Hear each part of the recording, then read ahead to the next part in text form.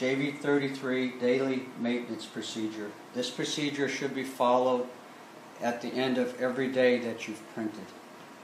Okay, use the clean solution that came with the printer and a cotton swab, or a foam swab in this case. Foam is actually better. Okay, you start out by turning the printer off. That removes power from the print carriage. Push the print carriage over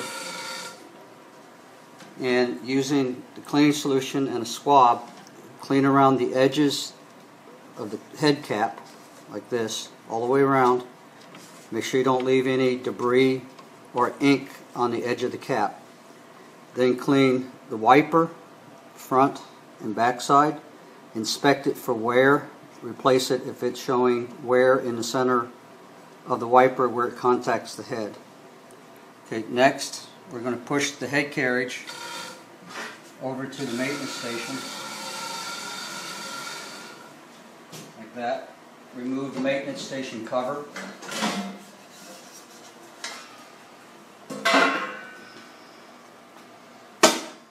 Okay, then we're going to clean around the print head using the same cleaning solution and a swab.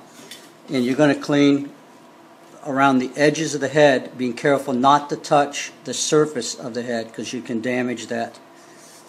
And just clean all the way around that, like that, front, back, and sides. And also clean this area here. When the wiper contacts the head after the cleaning cycle, it's going to deposit ink here. So you want to clean this off real well. Again, don't touch the bottom of the head. When you finish that, you can push the head back over here. Okay, then you can use the swab, follow me, okay, to clean this black strip here.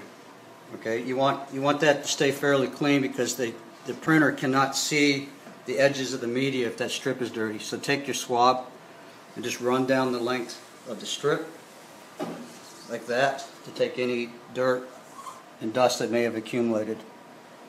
And if you do that every day, you should not have problems uh, re related to the cleaning station or the print heads uh, as far as dropping ink on the media.